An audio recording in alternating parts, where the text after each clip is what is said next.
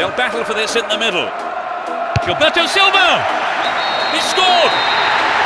Surely they can't lose this now. That was his second goal of the game. Patrick, the way he's shaking out.